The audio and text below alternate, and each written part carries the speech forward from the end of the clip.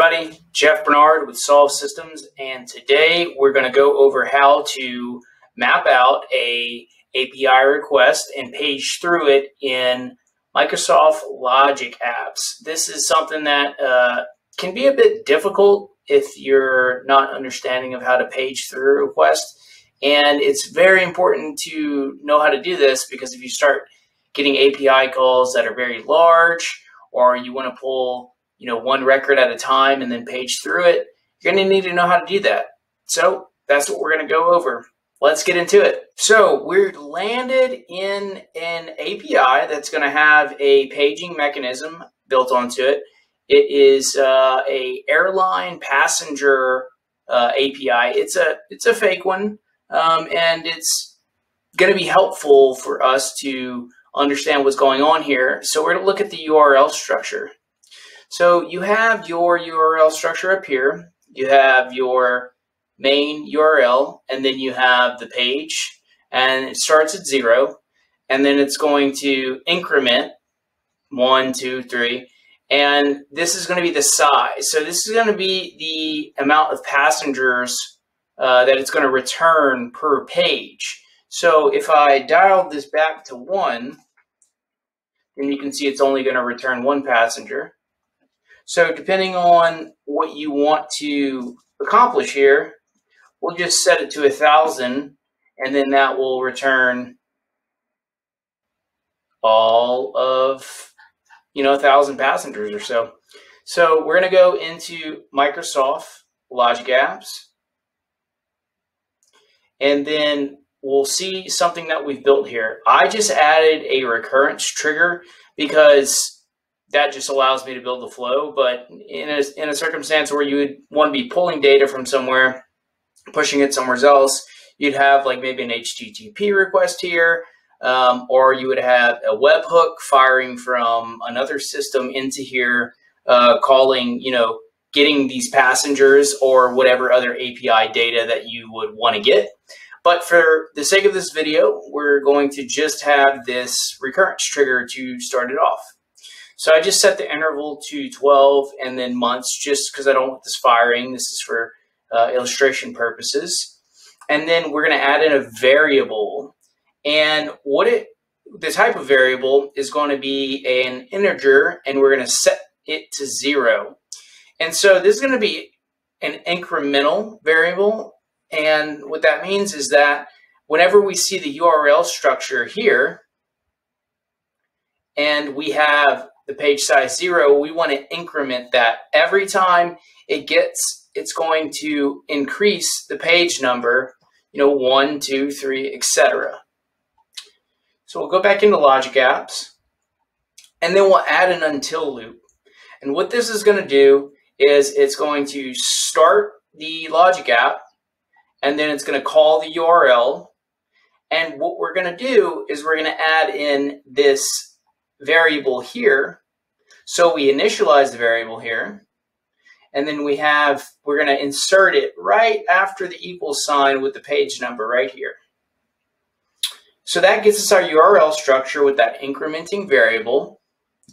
And then we're going to parse the JSON. And then we're going to add an increment variable. We're going to set the increment variable here.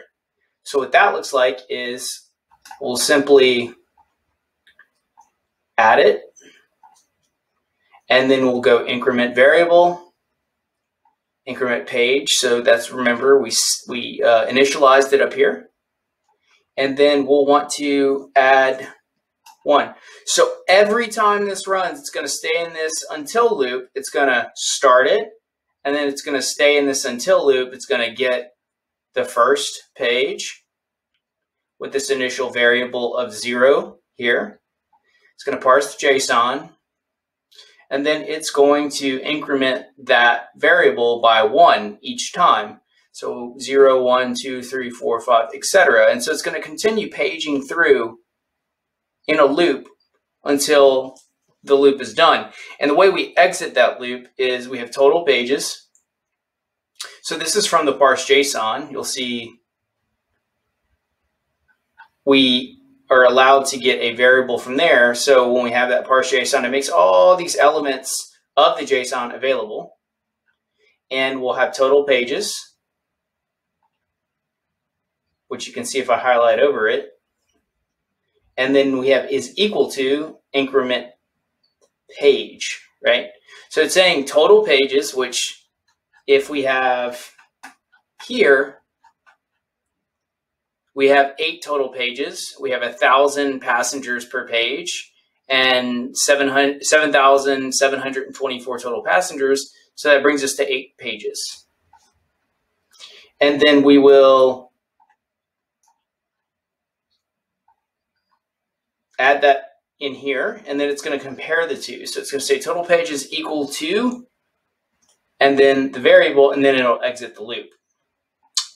So that is how you page through until you get to the end of a REST API paging uh, you know, schema, and that might look different with a different API structure like an OData API. We'll have a skip token, and we'll do that one at a different point. But this is for paging through a REST request. So we'll run it. And it'll take a few seconds to finish. We'll go here. And then we see succeeded in seven seconds, right? So what it did is it got eight pages and then it increments it each time. And you'll see the increment here.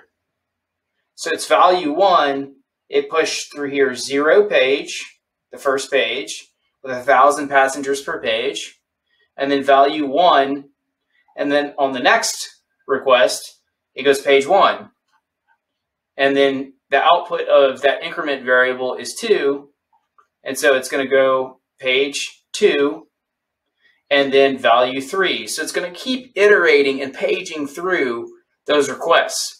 So I hope that's helpful. I know uh, until loops and paging was something that I had to learn and figure out. So let me know if you want me to make some different videos and I'm always available to help. Just comment and or put in a request at solvedsystems.com forward slash contact. Look forward to talking to you soon. Have a good one.